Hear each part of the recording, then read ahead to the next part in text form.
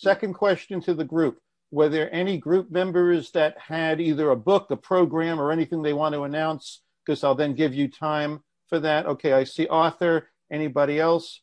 Um, okay, so so Arthur, let me let you get your minute in uh, right now while everyone's still here, which was my promise, and then we'll extend the session for five minutes for those that have other questions.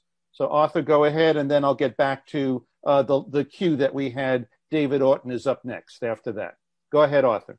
Well, very exciting uh, presentation, Glenn, and thank you so much. Uh, I especially like the thing you were saying about money, and I think our need to create uh, uh, world money, uh, and that that's a whole different issue. But the announcement is that uh, we, as some of you know, we have amazing opportunity to have our film now on public television stations across the country in April, and we have a GoFundMe, uh, which we are working on right now. We, we did, we're doing it in cooperation with uh, Rotary International because we figured this may be a way to draw in more funders. Uh, what we need is uh, we're, try- we're trying to raise right now 20,000, which is crucial for having the station relations rep, the, the, the promotional person we need to get a big uh, audience and so on. And uh, I'll put the GoFundMe in the chat, or if Melanie, if you're listening, if you could stick that in the chat right now, I'd appreciate it.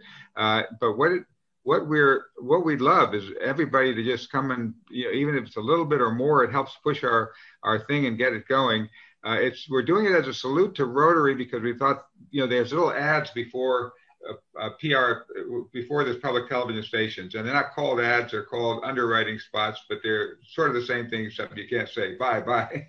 and uh, we're doing it that way because we think that'll attract more uh, of, of, some other funders.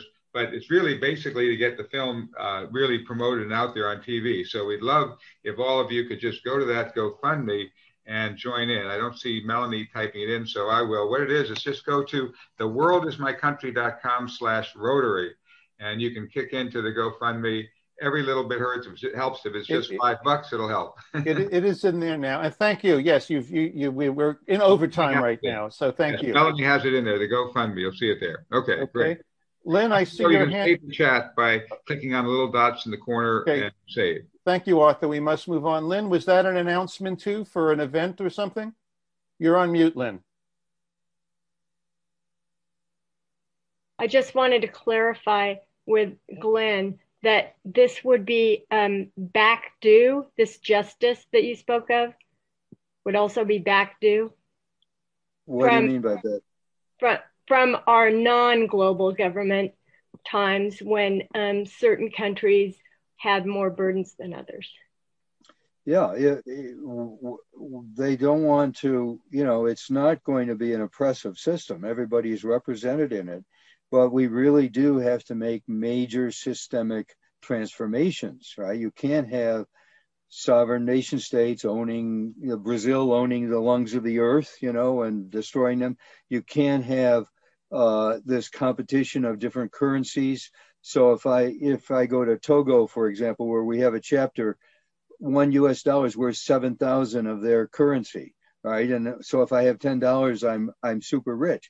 We have to we we're going to have to without undue uh, burden on anybody.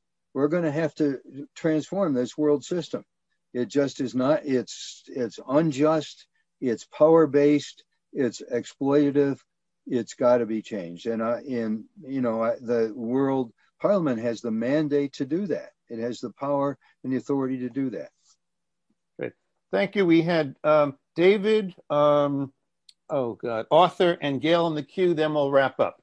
So take it away, David Ort. When several times in the Constitution it talks about the five continents, but they're not explicit in the Constitution, as no. far as I know. Although you did uh, uh, mention them. But the problem with the five that you mentioned is whether Russia is part of Europe or part of Asia, whether the Middle East is part of Asia, whether Australia is part of Asia. So, yeah. How would all those questions be decided?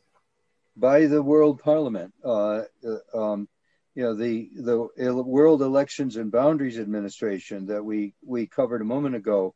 You know, it, its job is to make sure these these electoral districts are all equitable and but but also its job is to divide them into larger groupings right? So uh, there's uh, there's 10 magna regions, 20, and and so as as it's dividing them, it would make the you know the administrative decision where Europe stopped and where it began in terms of Russia and so on, and and as uh, just for me to repeat, I don't think the World Parliament will be torn apart by political bigotry like the US Congress is. I think the World Parliament will be there with a mandate to do well for everybody and they'll be working together to do everything. So this whole idea of political parties, uh, you know, with their rabid uh, dog uh, ideologies will be gone.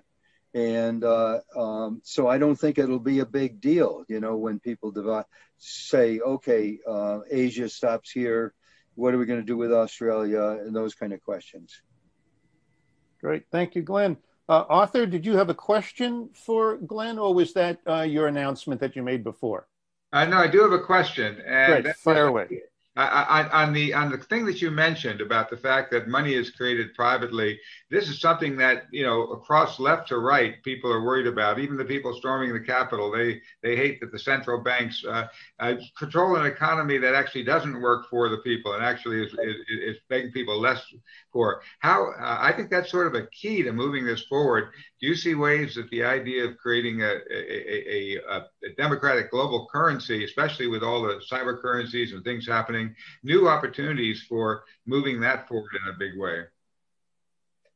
I I think the only way to I, I you know there's uh, we we work with uh, one uh, group called Mana right that have a digital currency that's called Mana and this uh, it's a an alternative to Bitcoin uh, and it's free right so you can you know they have an NGO and uh, you can get a wallet and and insofar as they grow as mana grows and becomes more they just distribute the money to everybody right? That's a good thing. So we're we're for that kind of thing uh, spreading the idea of uh, alternative communities uh, uh currencies and fair currencies.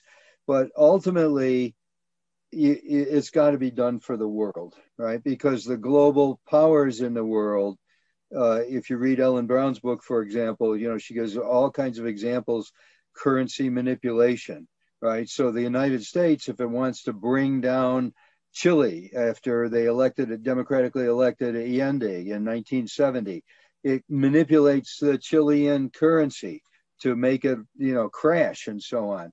The, you've got to stop this absurdity of power being in charge of currencies and make make money, as I was saying, a public utility for everybody, right? right? And and we we passed uh, the Provisional World Parliament passed uh, one Provisional World Legislative Act uh, with a guaranteed annual income for everybody, right? Uh, once once the uh, digital revolution takes all these jobs away from people and machines and robots are doing these jobs, people are going to need an income and the world government can easily supply this because money creation is not created as debt. Great. Thank you, Glenn. Gail, you have the last word. And since you're also uh, the coordinator of the book club, you can bring us to a close and remind people of the, the next session.